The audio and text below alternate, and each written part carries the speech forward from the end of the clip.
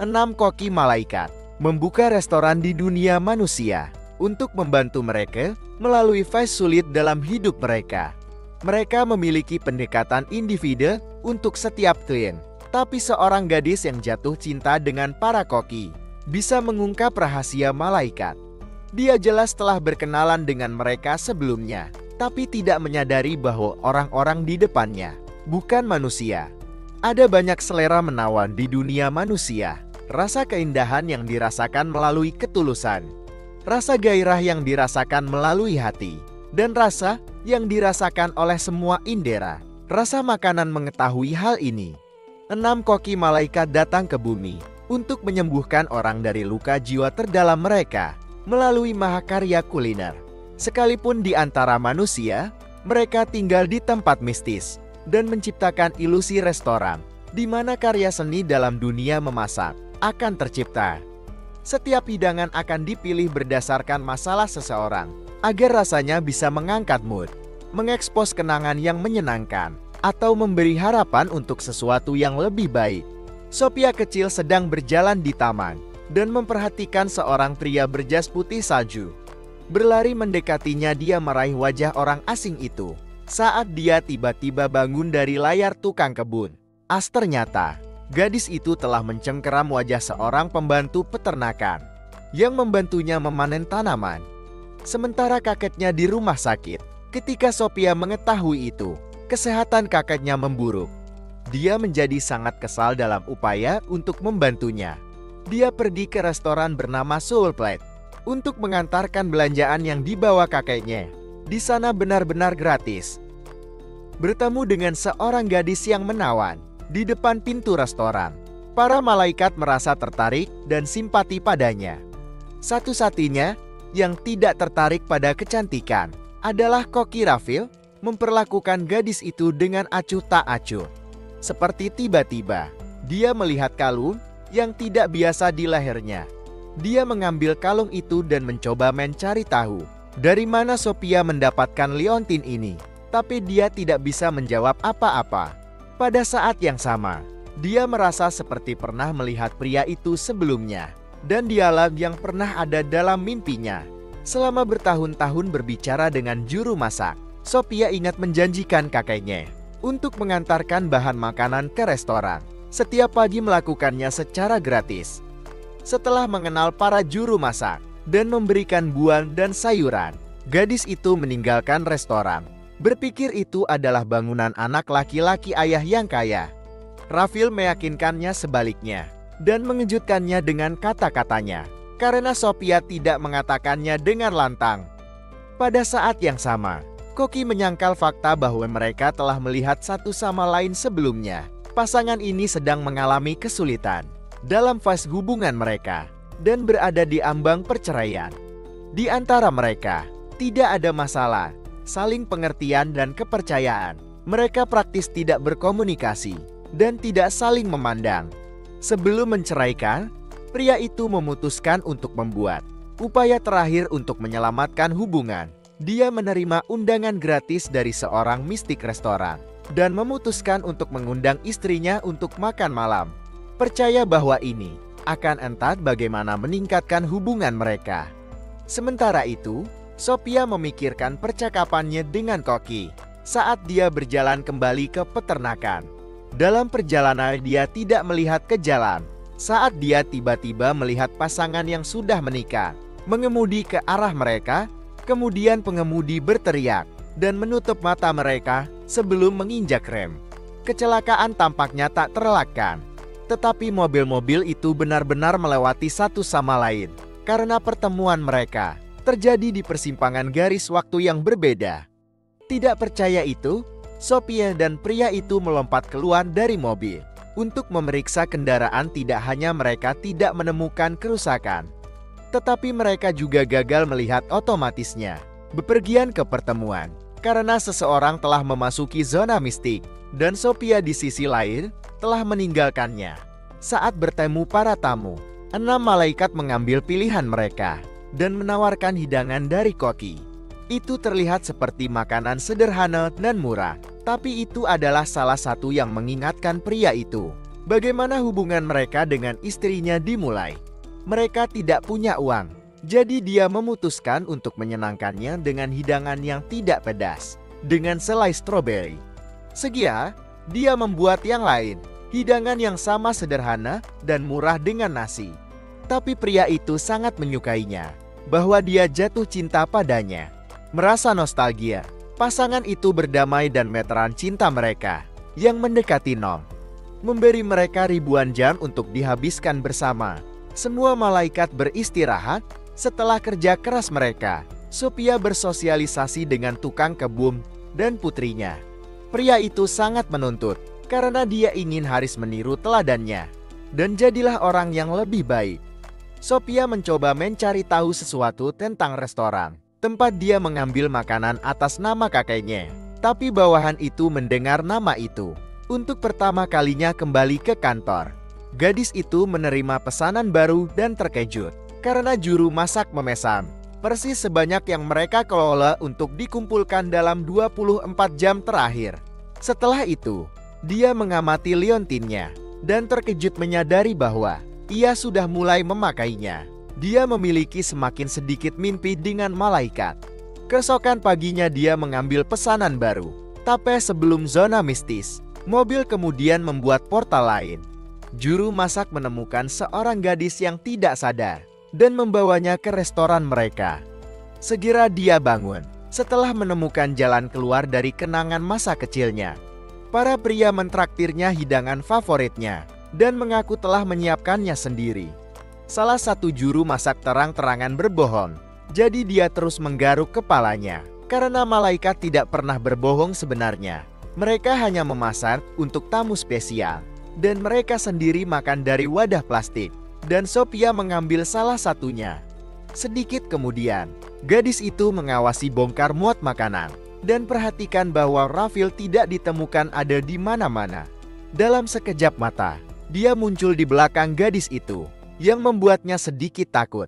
Koki mengulurkan tangannya kepada Sophia untuk memeluknya, dan gadis itu tidak bisa menolaknya. Dia mempengaruhinya dengan cara yang ajaib. Jadi Sophia siap untuk itu. Tapi itu tidak terjadi. Ternyata Koki hanya menaruh liontin padanya. Setelah itu dia bergegas pergi ke restoran. Segera setelah Sophia pergi, seorang wanita muncul di restoran, berdebat dengan dokter di telepon. Ibunya telah berada di rumah sakit selama lebih dari 10 tahun. Dan wanita itu lelah dengan perawatan yang terus-menerus dan investasi moneter. Dia ingin kerabat lain merawat ibunya. Selanjutnya, karena dia mengalami kesulitan bertahan tanpa bantuan. Juru masak tahu persis apa yang dibutuhkan klien yang menuntut. Jadi mereka menawarkan air dan membawa sejumlah hidangan lezat. Setelah mencoba hidangan utama, wanita itu ingat bagaimana 20 tahun yang lalu putranya yang masih kecil jatuh sakit setelah mengetahui hal ini. Sang nenek dilarikan ke rumah sakit dan membantu cucunya dia berlari begitu cepat ke rumah sakit bahwa dia lupa memakai sepatunya yang segera membuatnya sakit. Sebelum dia pergi ke rumah sakit, dia memperlakukan putrinya dengan hidangan yang sama persis dan dia mengingatnya selama sisa hidupnya. Membuka matanya, wanita itu melihat ibunya di depannya, seolah-olah dia sedang duduk di sebelahnya. Wanita tua itu meminta untuk tidak berkecil hati dan menawarkan untuk berbaikan. Setelah itu, mereka menelepon dari rumah sakit dan memberitahu bahwa nenek telah meninggalkan dunia ini. Selamanya wanita itu tidak mempercayainya karena dia baru saja melihat ibunya, tapi menyadari bahwa semua ini hanyalah ilusi. Setelah melihat Clint, para pria menyiapkan makan malam yang sama untuk diri mereka sendiri. Ketika tiba-tiba Sophia kembali ke restoran, dia yakin dia terlihat Rafil dan juru masak lain dalam mimpinya dan di masa lalu yang jauh. Jadi dia ingin tahu siapa mereka sebenarnya dan tidak akan pergi tanpa mendapatkan jawaban yang benar untuk pertanyaannya. Beberapa waktu lalu, enam malaikat tiba di bumi untuk membantu manusia. Mereka diusir dari surga, tapi mereka tidak tahu mengapa dan untuk apa, karena mereka tidak melakukan kesalahan tidak ingin memberitahu Sophia tentang hal itu. Rafil menyentuh dahi gadis itu. Dengan demikian menghapus ingatannya dan memutar kembali waktu. Bangun di dalam mobil, dia tidak ingat percakapan terakhir dan kembali ke rumah. Tak lama kemudian, seorang pria tiba di restoran yang putrinya sakit dan di rumah sakit. Dia bertemu dengan seorang pria yang telah memutuskan untuk mendonorkan ginjalnya dan ingin memperlakukannya dengan sesuatu yang istimewa. Tetapi juru masak memberitahu mereka bahwa hanya sup ayam yang ada di menu hari ini. Pria itu tiba di pertemuan dan berterima kasih kepada pria itu. Sebagai imbalannya, memberitahunya tentang sesuatu yang terjadi 15 tahun yang lalu. Ketika dia masih kecil, dia mencuri sebungkus sup ayam, tapi petugas itu menangkapnya. Pria itu mengklaim itu adalah putranya dan membeli sup. Ternyata, dia mencoba mencurinya untuk ibunya yang sakit. Itu satu-satunya hal yang ingin dia makan. Setelah itu dia jatuh ke dalam tidur abadi. Di masa sekarang, pria itu belajar di Universitas Kedokteran dan akan menjadi dokter, tapi sebelumnya dia ingin berterima kasih kepada pria itu dan menyelamatkan putrinya. Sang ayah sangat berterima kasih padanya untuk ini, dan mereka memutuskan untuk mencoba sop ayam yang sama berterima kasih yang mereka temui 15 tahun yang lalu. Meski pahitnya masa lalu, mereka merasa bahagia karena mereka bisa bertemu dan saling membantu. Setelah pengunjung pergi, para malaikat merayakan kemenangan mereka ketika tiba-tiba Rafil merasa bahwa Sophia telah jatuh sakit karena kenangan baru saat memanen tanaman.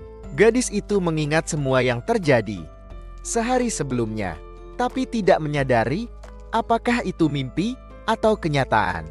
Sementara itu seorang gadis remaja mencoba menemukan jalan pulang, tapi menyadari dia tersesat. Dia meninggalkan item itu sebagai tanda bahwa dia ada di sini dan segera menemukannya. Menyadari bahwa dia berjalan berputar-putar dan frustrasi. Dia ingat persis bagaimana dia berakhir di sini. Ayahnya mencoba memperkenalkannya kepada ibu tirinya beberapa hari yang lalu. Tapi gadis itu dengan tegas menentang hubungan mereka karena dia mencintai mendiang ibunya.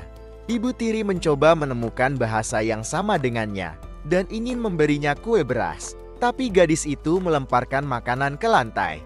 Setelah mendapat tamparan dari ayahnya, dia melarikan diri dan sekarang sangat lapar. Sang ayah menyadari kesalahannya dan mencari putrinya, tapi tanpa kesuksesan. Sementara itu, Gadis itu menemukan dirinya di sebuah restoran ajaib. Malaikat dan kartu undangan muncul di tangannya. Juru masak membawa hidangan favoritnya dalam milkshake, seperti yang biasa dibuat mendiang ibunya. Gadis itu sangat tersentuh dengan kenangan yang menyenangkan, tapi segera ternyata bahwa hidangan itu disiapkan oleh ibu tirinya. Dia mendapat resep hidangan dari ayahnya dan mencoba demi gadis itu tapi rela berpisah dengan ayahnya jika dia menentang hubungan. Tak lama kemudian, sang ayah juga tiba di tempat kejadian dan sangat mengkhawatirkan putrinya. Melihat bahwa mereka benar-benar saling mencintai, dia setuju ayahnya menikahi wanita lain dan dia menggantikan mendiang ibunya. Sementara itu Sophia mengingat Rafil lagi dan benar-benar menyadari bahwa mereka telah melihat satu sama lain sebelumnya. Sophia memetik anggur dan kemudian menerima pesanan makanan lain dari restoran enam malaikat. Akibatnya ia pusing dan gadis itu pingsan. Dan dalam mimpinya dia dengan jelas melihat Rafil. Menyadari bahwa mereka sudah saling kenal sebelumnya. Sophia bingung saat kakaknya tiba-tiba muncul di depannya dan mengatakan padanya seluruh kebenaran. Dia juga adalah seorang malaikat tapi dia meninggalkan surga untuk hidup seperti orang biasa. Setelah berdosa dia jatuh ke bumi dan menemukan tubuh manusia. Setelah itu dia jatuh cinta dan memulai sebuah keluarga. Sophia memiliki DNA malaikat di dalam dirinya. Jadi dia bisa melihat dan berkomunikasi dengan para koki dari restoran mistis. Sekarang dia menyadari bahwa dia telah bermain dengan Rafil. Selama ini, tapi hanya kakeknya yang melihatnya. Yang lain mengira gadis itu gila. Dari ingatan Sophia menjadi jelas bahwa dia tidak hanya berteman dengan malaikat, tapi juga jatuh cinta padanya. Suatu hari mereka bertukar cincin bunga. dan berjanji untuk saling mencintai seumur hidup. Sepertinya itu akan menjadi pasangan yang cantik. Tapi Tuhan memutuskan untuk menghukum malaikat itu dan memisahkan mereka. Jadi mereka tidak akan pernah bersama. Tiba di restoran, Sophia memeluk koki itu, tapi Rafael mendorongnya dan menyangkal bahwa mereka pernah menjadi pasangan. Di saat yang sama, sebuah undangan muncul di tangan gadis itu dan menjadi jelas bahwa dia adalah tamu terakhir dari restoran malaikat sebelum tutup. Setelah mencicipi salad, Sophia ingat bagaimana Dier dan Rafil saling menyuapi buah anggur dan menyadari bahwa Koki dan temannya adalah satu orang yang sama. Tak lama kemudian gadis itu menjadi pengurus restoran dan menerima tamu yang menjadi Rafil. Pasangan menyadari bahwa terlepas dari semua rintangan, mereka saling mencintai dan tidak ada yang bisa mengganggu kebahagiaan mereka.